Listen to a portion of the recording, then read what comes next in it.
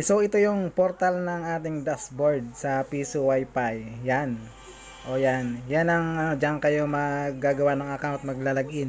Diyan. Tapos pagkalagin nyo diyan, um, maggagawa kayo ng account. So pag nakagawa na kayo, ganito yung login na lalabas. Yan. So naka ano na ako dito, nakalagin, nakasave na yung password ko dito. Nakasave na siya. So pag nilagin ko siya, ah mabilis na lang din. So, i-input mo na lang yung CAPTCHA words na nire- nire-require. I-insert natin yung words. So, login tayo. Ayan. Okay. So, ito yung kanyang dashboard ng sales ng Piso Wi-Fi.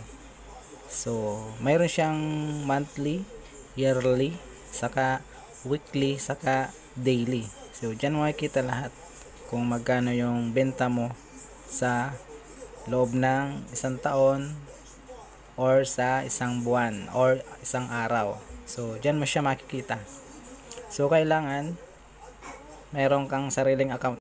Maraming salamat.